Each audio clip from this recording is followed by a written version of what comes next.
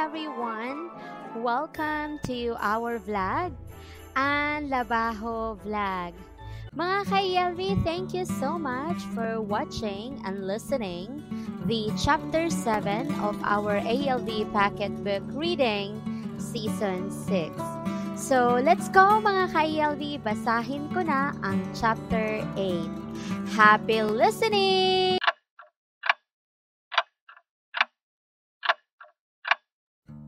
Chapter 8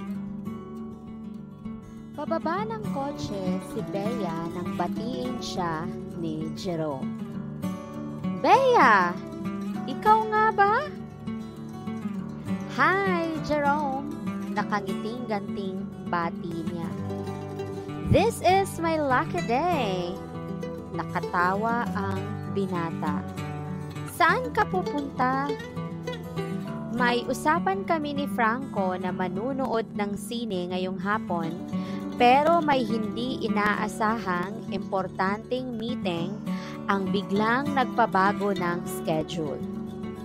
Kaya hito, killing time. Babalikan ko na lang siya sa opisina mamaya. Let's have snack then.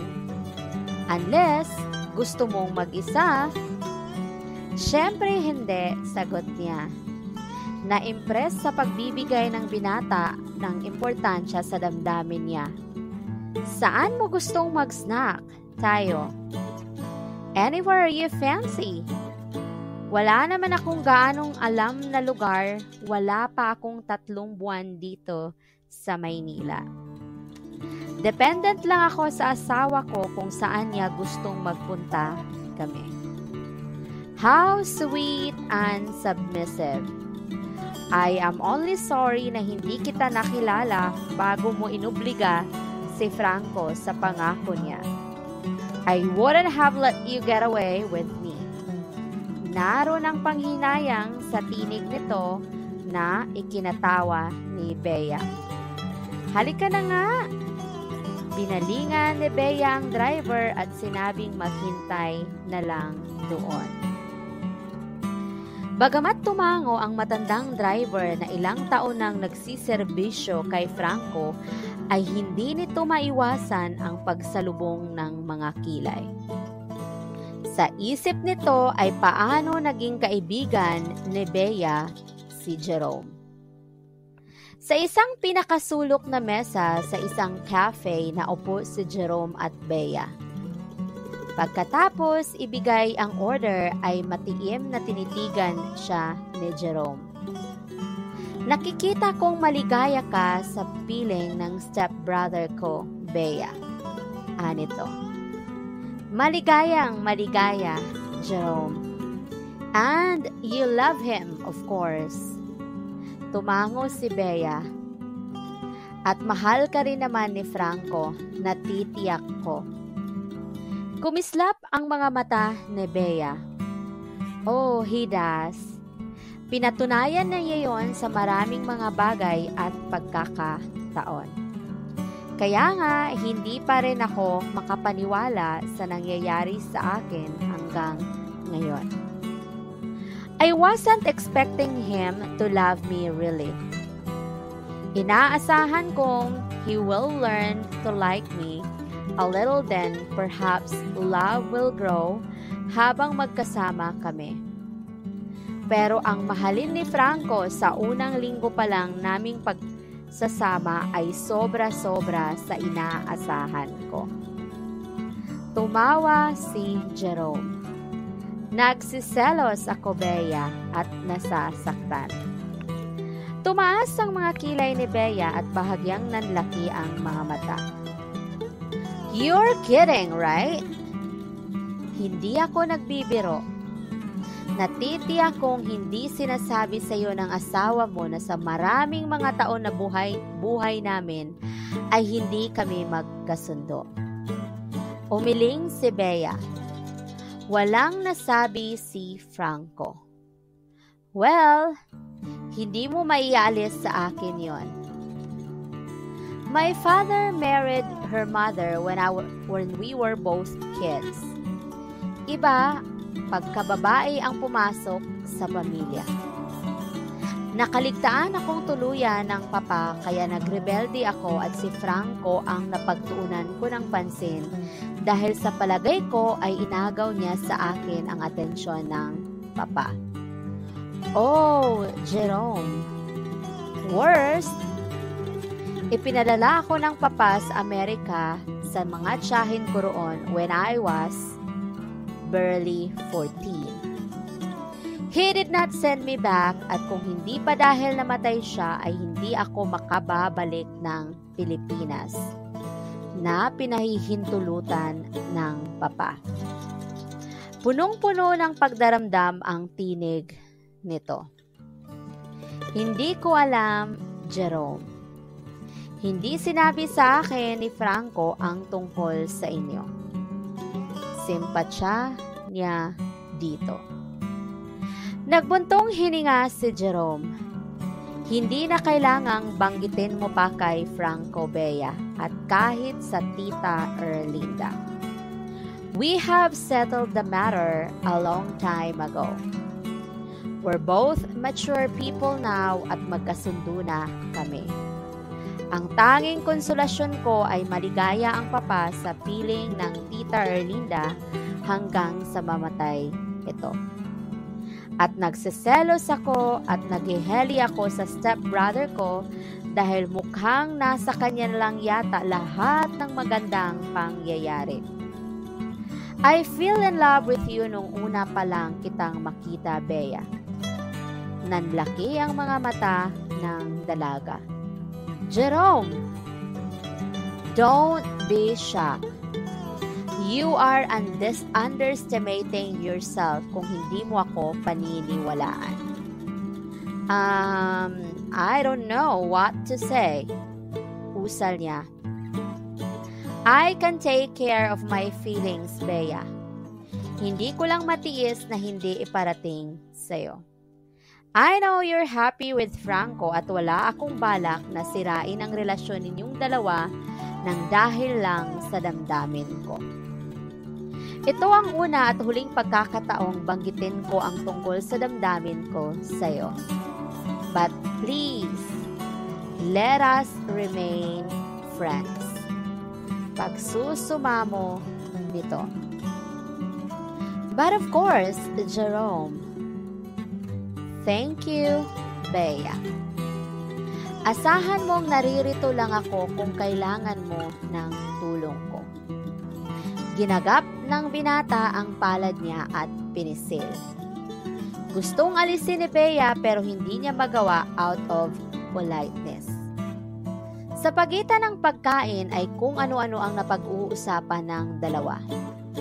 Masaya at magiliw na kausap si Frank Masaya at magiliw na kausap si Franco at maraming kwentong nakakaaliw at nalilimutan na ni Bea ang oras. Nang ihatid siya ni Jerome sa parking area ay isang atrasado sa usapan nila ni Franco or isang oras na atrasado sa usapan nila ni Franco. Mabilis siyang nagpahatid sa driver's FNN Canning. Nasa kotse na nito si Franco nang dumating sila. What took you so long, sweetheart? Salubong ni Franco. Namili ka ba? Mabilis siyang pumasok sa kotse at hinagkan sa pisngi ang asawa. Nagpasalamat ng lihim na hindi ito nagagalit sa pagkaatraso niya ng mahigit isang oras. Nagkita kami ni Jerome sa harap ng COD Darling. Niyaya niya akong mag-snack. Pumayag ako, total may nag nagpapalipas lang naman ako ng oras. Nalibang ako at nali. Hindi niya itinuloy ang sinasabi ng makitang dumilim ang muka ng asawa. Pignaghintay mo ako ng isang oras na mahigit dahil lang nalibang ka sa pakikipaghonta sa lalaking iyon? Parang kulog ang tinig nito sa pandinig ni Bea. I am sorry. Kinabahan siya. Sa maikling panahon na pagkakakilala niya rito ay hindi niya kinaringgan ng ganoong tono si Franco. You should be.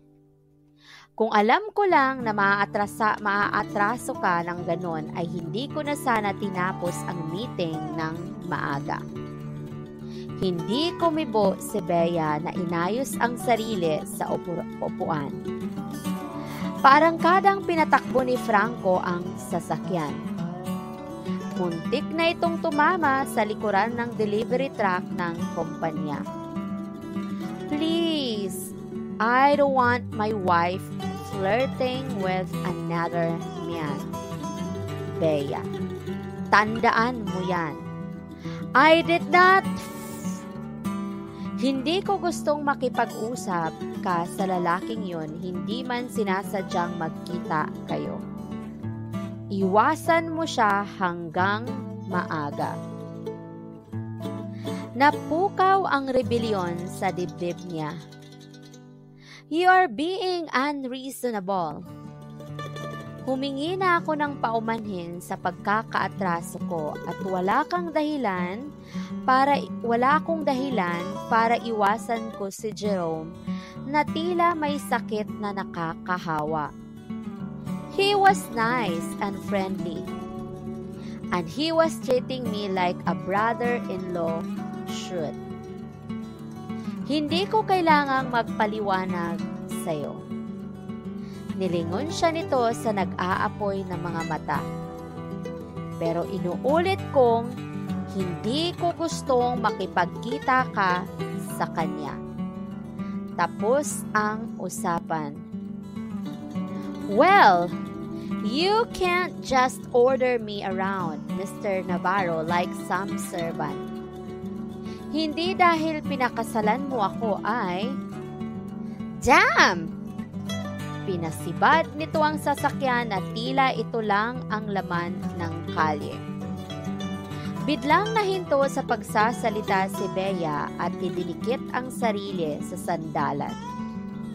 Kinabahan at natakot siya pero sinikap niyang ikalma ang sarili. Ihinto mo ang kotse sa tabi at bababa ako, Franco. Anya sa malamig at nanginginig na tinig. The hell you will, sigaw nito. Hindi ka nagsisilo, nagsiselos kaya nung una ay iba ang atensyong ipinakita mo kay Jerome. Nagagalit ka pa rin sa kanya dahil sa mga walang kakwenta-kwentang bagay na lagi ninyong pinagtatalunan mula nung maliit pa kayo. Tumaas ang mga kilay ni Franco at sinabi niya sa iyo yan ha? I wonder why. Patuyang sinabi nito na bahagyang nagmenor. Matagal nang tapos iyon. Hindi na kayo mga bata. Why can't you forgive and forget? Nagtagis ang mga bagang ni Franco. Hindi mo alam ang sinasabi mo. Hindi kami kahit kailanman magiging magkaibigan ni Jerome Bea. Not that I didn't try to. You are so unforgiving as your grandfather. Agap niya na sa galit ay hindi pinatapos ang sasabihin ng asawa. Tatak ng mga Sebastian yon at kalahati ng dugo ko ay Sebastian. Sumisigaw na itong totoo. Hindi sumagot si Bea at nanahimik ng ilang segundo.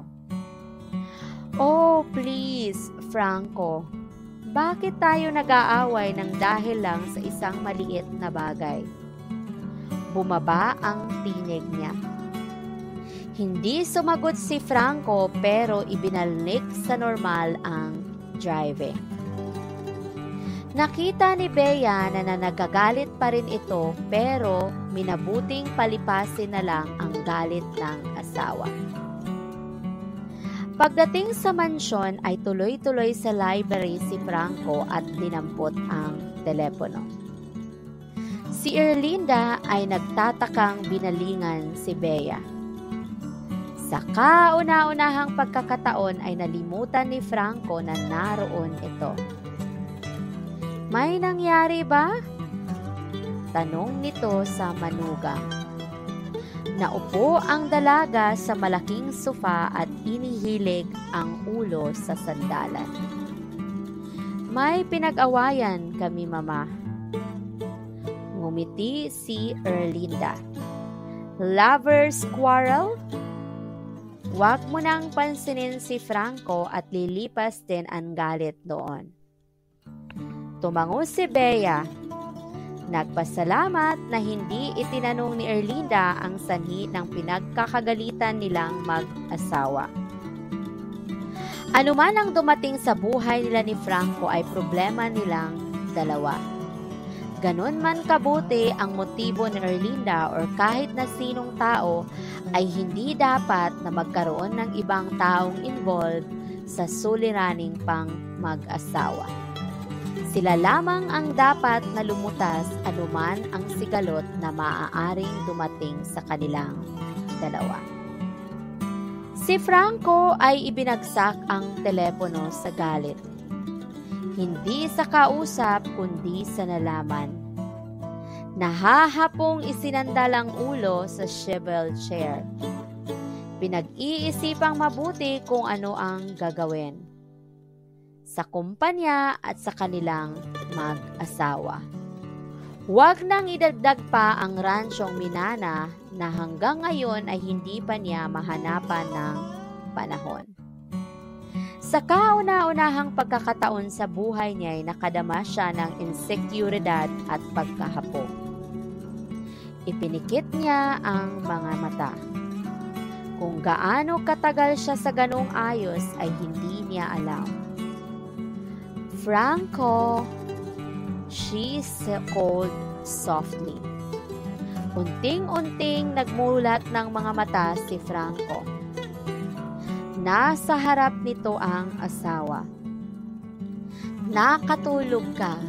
Sinilip kita kanina para yayaing kumain pero hindi kumatim na gisingin ka. You look so tired. Pero ginising mo ako ngayon. Sagot nito sa tonong hindi matiyak ni Bea kung galit o nagbibiro. It's past 11. Ayokong dito ka abutan ng magdamag. I am sorry darling, pero naniniwala akong hindi dapat na pinapaabot sa umaga ang pagtatalo. So whether you like it or not, let's make amends. And how do you intend to do that? Nahihimigan na ni Bea ang amusement sa tinig ng asawa nakadama siya ng relief. Any idea? Kinabig siya ni Franco at napaupo siya sa kandungan nito. Let's make love here. Wika nito and bit her ear gently. His one hand kept the side of her breast. Here? Where? sa ibabaw ng disc sa sofa sa carpet, sa chest or even in the wall standing, kahit sa anong gusto natin. Dito natin gugulin ang buong magdamag my sweet wife. His voice in seductive whisper habang unti-unting inaalis sa mga balikat ng asawa ang nightgown. She giggled. Darling, I didn't know that you are an exhibi- exhibitionist. O pervert ba ang tawag doon? Kahit na anong itawag mo, itinaas nito ang asawa at iniupo sa ibabaw ng desk study. Pagkatapos ay ito naman ang nag-alis ng kasuutan and was naked in seconds flat. Oh, bulalas ni Bea He was ready and hard. Ganon kadali. You should have noticed nang kandungin kita. Nakangising wika nito. He was standing and positioned himself in between her legs. Push her down on the table gently. You were in my troubled dreams, sweet, torturing me, and I want you now. Franco, oh, she gasped. Hindi niya inaasahan yun. Sa panahon ng pagtatalik nila ay hindi pa nangyaring hindi nag-foreplay ang asawa. And her husband took her in one sure, powerful thrust while she was in the most uncomfortable position imaginable. Pero hindi niya nai- hindi niya naiisip 'yon. Franco drove wildly, deeply, and savagely up if there's no tomorrow. And to her disbelief, she was trembling her need, her hands clutching his back, his hand gripping her hips, and he quickened the step of this primitive dance. Isang matamis na pandarahas ang ginawa ng asawa and she was mindless of everything but his stormy love making. In minutes, isinubsob ni Franco ang mukha sa liig ng asawa. Bea, my sweet Bea, he whispered in drag breathing. Sandali silang nanatili sa ganoong ayos nang marahang kumawala si Bea. Franco, hindi kaya mga importanteng papeles ng opisina ang nasa likod ko? Nasulyapan ko yun kaninang pumasok ako. Natilihan si Franco na inisip ang sinabi niya. At sa isang iglap ay tumayo ito kasama ang asawa. Tinitigan ng mga papeles na kusot-kusot at basa ng pawis nilang pareho. May dalawang dokumentong nakadikit pa sa likod ni Bea. Oh, damn! Wika nito na tinutup ang ulo. Kabibigay lang ng ubugado ng kumpanya sa kanya kanina. A newly notarized contract signed by both parties. Then he looked at his wife na kumikislap ang mga mata in silent laughter. Pumailan lang sa loob ng library ang tawanan nilang dalawa. That was the chapter 8. Thank you so much mga ka-ELV for watching and listening that chapter 8.